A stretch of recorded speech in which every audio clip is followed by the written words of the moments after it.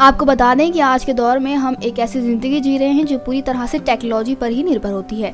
Technology में कई चीज़ें ऐसी आविष्कार हो गई हैं जिनसे हम घिरे रहते हैं। टेक्नोलॉजी से वैसे तो इंसान को बहुत फ़ायदा होता है, लेकिन कई जगहों इंसान को काफ़ी नुकसान भी हो सकता है। आज के दौर भी बड़ी प्रॉब्लम है। फ़ोन मोबाइल फ़ोन यानी कि बैटरी का ब्लास्ट होना। जी हाँ जिसका खास तौर पर ध्यान रखा जाना बहुत ज़रूरी होता है। हो सकता है इस चीज़ को हम मात्र साधारण मानकर इग्नोर कर देते हैं, लेकिन एक छोटी सी गलती आपकी जान भी ले सकती है।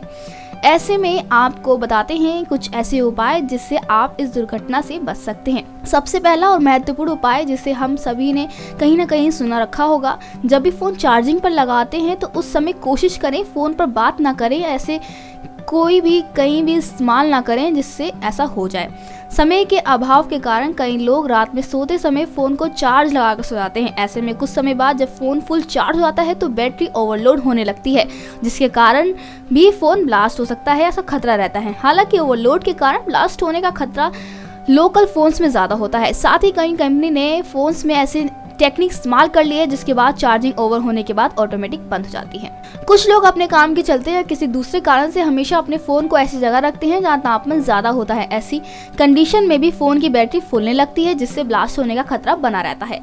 ऐसे में आपको अपने फ़ोन का ज़्यादा ध्यान रखना चाहिए और चार्जिंग या फिर किसी गर्म जगह पे नहीं रखना चाहिए। नेक्स्ट नाइन टेक की रिपोर्ट